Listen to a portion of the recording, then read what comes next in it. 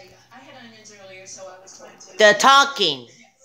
Yes, but it brought up a memory when I was in school. You know, we couldn't chew gum in school, right? You probably Right. Can't now. I But, don't know. but they always stuck it under the desk. It was a terrible thing. Terrible. My God. Uh, I never did that. When I was a kid growing up on Tuesday after the Tuesday mornings, I think at ten thirty in Chicago, there were there was a practice air raid drill. They would do the air raid sirens, and you had to duck under your desk. And I never figured out why that was going to protect us, unless it was that layer of gum on there, which probably that's all I remember.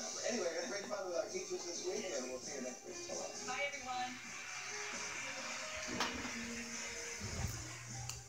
Pat, where are we? We're inside the Wheel of Fortune Instagram page. We've got behind the scenes photos, real time stories.